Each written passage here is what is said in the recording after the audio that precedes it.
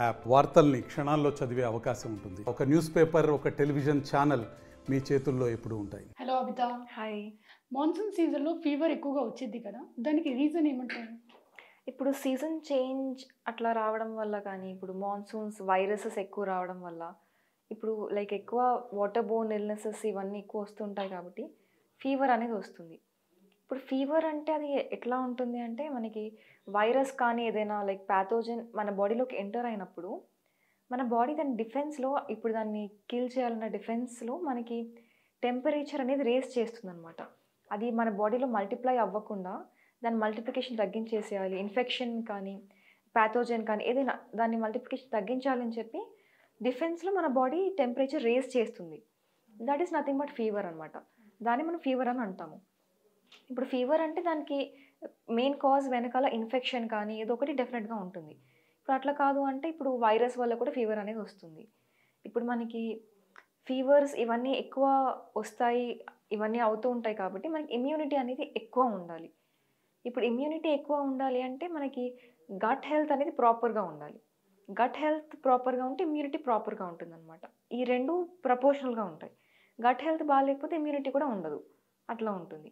అసలు మాన్సూన్ సీజన్లో ఎలాంటి ఫుడ్ తీసుకోవచ్చు అంటారు మాన్సూన్లో ఇప్పుడు ఫుడ్ అంటే కొంచెం ఇప్పుడు కూల్ అయిపోతుంది వెదర్ అట్లా ఉంటుంది కాబట్టి కొంచెం లైక్ ఇప్పుడు మీరు అప్పటికప్పుడు కుక్ చేసుకొని కొంచెం హీట్గా లైక్ వామ్గా ఉన్న ఫుడ్ కానీ లైక్ హాట్ ప్యాక్స్లో మీరు బయటికి వెళ్తే లైక్ ఆఫీసెస్ సంథింగ్ హాట్ ప్యాక్స్లో తీసుకొని వెళ్ళడం కానీ కొంచెం వామ్ ఫుడ్ తింటే మీకు తినడానికి కూడా కొంచెం టేస్టీగా అనిపిస్తుంది. అట్ ద సేమ్ టైం మీకు బాగుంటుంది. కూడా ఇమ్యూనిటీ అవన్నిటికీ హెల్ప్ చేస్తుంది.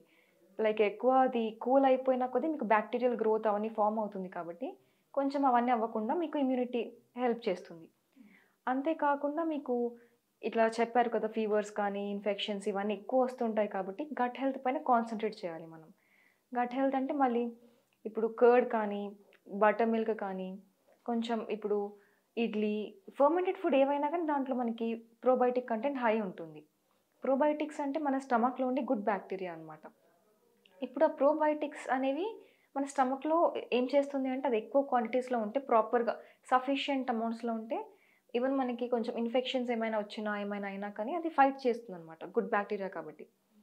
ఇప్పుడు మనకి ప్రోబయోటిక్కి ఫుడ్ అంటే ప్రీబయోటిక్స్ కాబట్టి ప్రీబయోటిక్స్ అనేవి మనకి ఫైబర్ నుంచి వస్తాయి. ఫైబర్ లైక్ సాల్యుబుల్ ఫైబర్ ఇవన్నీ ప్రీబయోటిక్స్ వస్తాయి.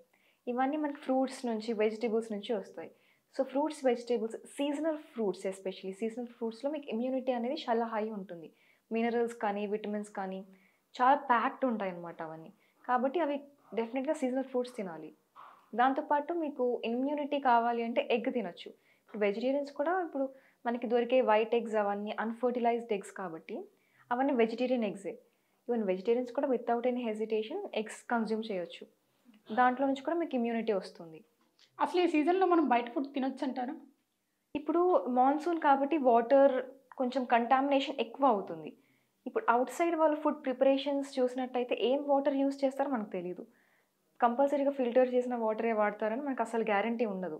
వాళ్ళు ఎక్కువ క్వాంటిటీస్లో ప్రిపేర్ చేస్తూ ఉంటారు కాబట్టి జస్ట్ వాళ్ళకి ఏదన్నా ఇప్పుడు వాళ్ళు in case filtered water use చేసినా కానీ హైజీన్ ప్రాక్టీసెస్ ఇంపార్టెంట్ వాళ్ళ హైజీన్ మెయింటైన్ చేయకపోతే ఎంత ఫిల్టర్ వాటర్ యూస్ చేసినా కానీ కంటామినేషన్ అయిపోతుంది ఈజీగా అట్లా కంటామినేటెడ్ ఫుడ్ కానీ కంటామినేటెడ్ వాటర్తో చేసిన ఫుడ్ అట్లాంటివి తిన్నప్పుడు మనకి కలెరా కానీ టైఫాయిడ్ కానీ like stomach infections diarrhoeas gastroenteritis acute acute gastroenteritis ఇవన్నీ ఇన్ఫెక్షన్స్ వామిటింగ్స్ ఇవన్నీ ఎక్కువ అయిపోతూ ఉంటాయి అన్నమాట కాబట్టి ఎంత అవాయిడ్ చేస్తే అంత బెటర్ బయట ఫుడ్ మనం ఈ సీజన్లో ఎస్పెషల్లీ ఇన్ఫ్లమేషన్ లాంటివి ఎక్కువ అవుతాయి కాబట్టి ఎలాంటి ఫుడ్ తింటే మంచిది అంటారు ఇన్ఫ్లమేషన్ తగ్గించాలి అంటే మనకి యాంటీ ఇన్ఫ్లమేటరీ ఫుడ్స్ ఉంటాయన్నమాట. ఇప్పుడు మనకి అల్లం కానీ వెల్లుల్లి కానీ ఇవన్నీ కొంచెం యాంటీ ఇన్ఫ్లమేటరీ ప్రాపర్టీస్ ఉంటాయి. యాంటీ ఆక్సిడెంట్స్ కూడా ఎక్కువ ఉంటాయి. ఇప్పుడు మనకి యాంటీ ఆక్సిడెంట్స్ ఎక్కువ తీసుకున్నా కానీ మనకి కొంచెం ఇవన్నీ ప్రొటెక్షన్ ఉంటుందన్నమాట. సో ఇప్పుడు యాంటీ ఆక్సిడెంట్ ఎక్కువ ఉన్న ఫుడ్ అంటే ఫస్ట్ విటమిన్ సి వస్తుంది. విటమిన్ సి రిచ్ ఉన్న ఫ్రూట్స్ లైక్ సిట్రస్ ఫ్రూట్స్ కానీ అట్లా సిట్రస్ ఫ్రూట్ ఈవెన్ మనకి బీట్రూట్లో కూడా విటమిన్ సి చాలా ఎక్కువ ఉంటుంది.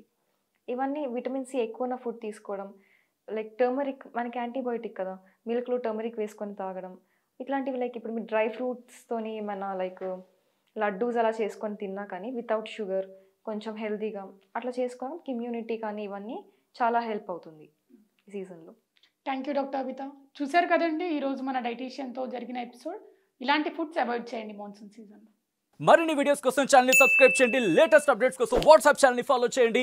అండ్ లింక్ డిస్క్రిప్షన్లో